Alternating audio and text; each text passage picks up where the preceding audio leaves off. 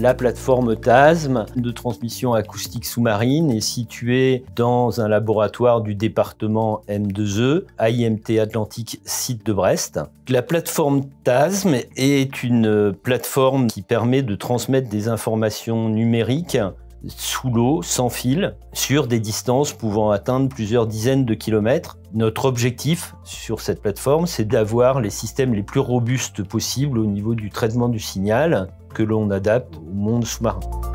Dans le milieu sous-marin, les ondes acoustiques ont la faculté de se propager sur de longues distances. Elles constituent donc un support privilégié pour la transmission de l'information. Dans ce contexte, la plateforme TASM joue un rôle primordial euh, pour deux raisons. La première raison, eh bien, c'est que les conditions de propagation dans ce milieu océanique sont telles qu'il est difficile de modéliser fidèlement en laboratoire ces phénomènes et euh, toutes les distorsions qui en découlent sur les signaux transmis. Il est donc indispensable pour nous de valider nos solutions techniques en contexte réel à l'aide de la plateforme. La deuxième raison est que la plateforme TASM nous permet de collecter des données pour améliorer notre compréhension de ce milieu de, propagation et ainsi améliorer le réalisme de nos outils de simulation. C'est une boucle vertueuse en quelque sorte. La plateforme TASM, labellisée Carnot Télécom et Société Numérique, a été euh, financée et créée en 2010 par le LabStick et la région Bretagne, avec une volonté d'être en mesure de tester nos solutions et nos algorithmes en situation réelle, c'est-à-dire de pouvoir transmettre sous l'eau et de récupérer les signaux et les analyser. Au sein de la plateforme, nous disposons de plusieurs transducteurs fonctionnant dans des gammes de fréquences différentes qui permettent donc de transmettre à des distances et à des débits différents. Nous disposons aussi d'hydrophones qui permettent d'enregistrer les sons sous l'eau et donc de récupérer les, signaux émis par nos transducteurs. Nous avons aussi au niveau du laboratoire une plateforme d'essai avec une cuve qui permet de faire des premiers tests pour valider le matériel avant de partir en expérimentation mer. La cuve qui est dans le laboratoire nous permet d'expérimenter en fait le système dans son ensemble même si les transmissions ne sont pas longue distance, on a des phénomènes physiques qui sont proches du milieu marin. Nous avons des solutions qui sont euh, développées sous forme logicielle, où on fait du traitement de signal pour encoder l'information.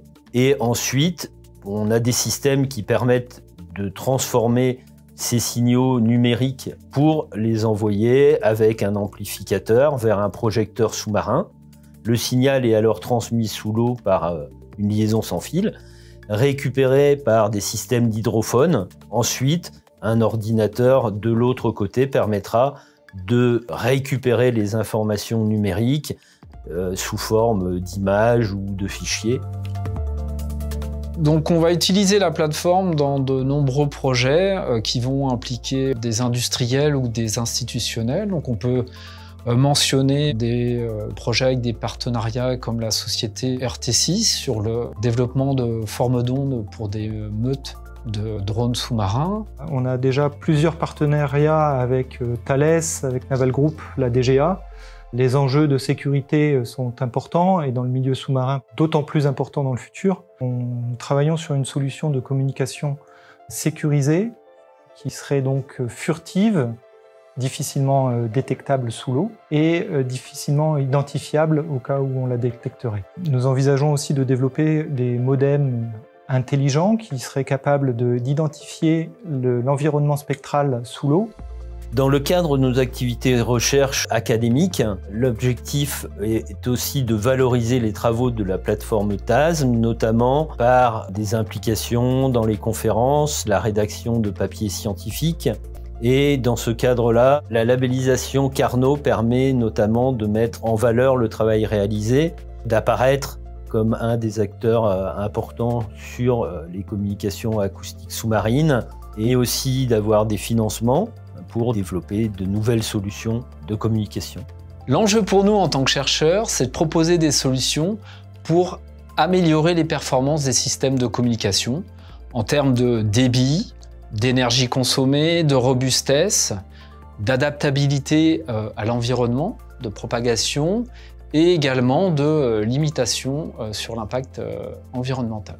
La plateforme doit servir d'expérimentation pour des preuves de concept, pour chercher des solutions toujours plus innovantes, pour permettre de transmettre toujours plus d'informations, toujours plus loin. Donc notre rôle, c'est justement de développer la plateforme pour plus tard envisager de nouvelles explorations des océans.